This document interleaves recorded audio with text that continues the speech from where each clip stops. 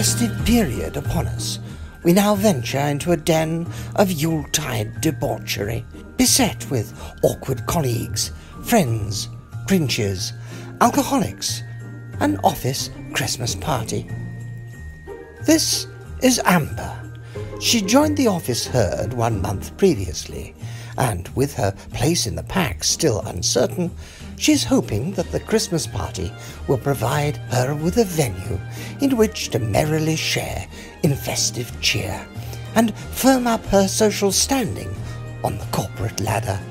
To put that plainly, she wants to get drunk and make friends. Let's follow her on this exciting escapade. Her first obstacle is known in the wild as a conversation circle.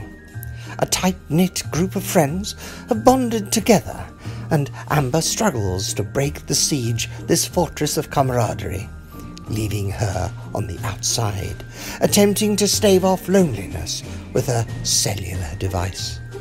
But there are only so many times one can swipe left and right on her home screen. She needs to make her move.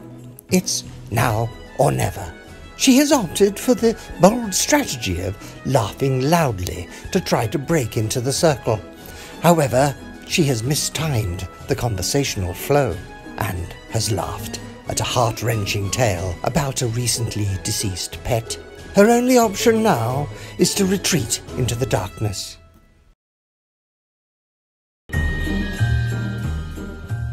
Across the room, we find the office manager, his antics attempt to portray a similar humour. But his ruse has failed, and he comes across as nothing more than what he is a desperate man, afraid of the quite probable prospect of dying alone.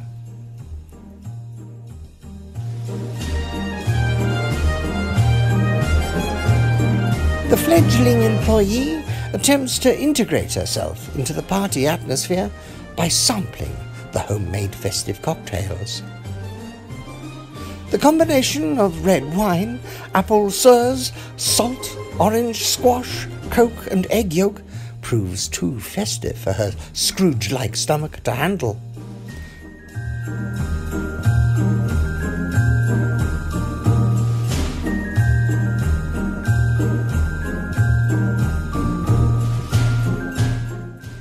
But to avoid offending the drink's creator, she continues with a smile.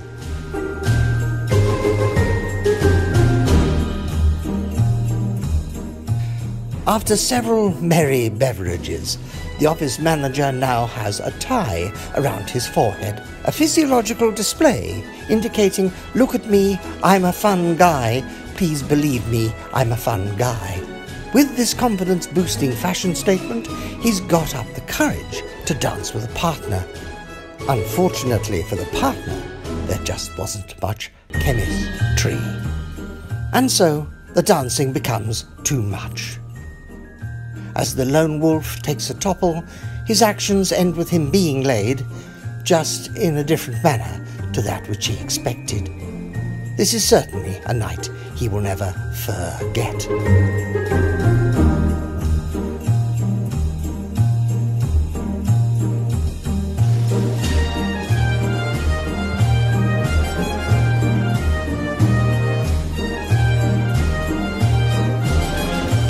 Self-proclaimed intellectual attempts to impress a female by telling her that karaoke is actually Japanese for empty orchestra. Thankfully for the human race, no one cares.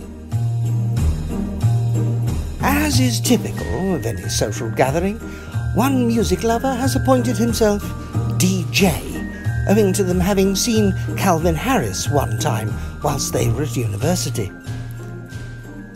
Despite frequent song requests, the officer's David Guetta guards the aux cable like a dragon guarding its treasure and rebuffs all oncomers.